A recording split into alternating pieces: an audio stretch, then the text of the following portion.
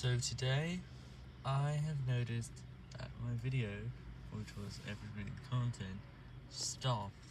And this is a little bit weird for the videos that usually always get views. It's strange, right? They shouldn't stop getting views. I mean, why would my video with over 400 views just stop all of a sudden?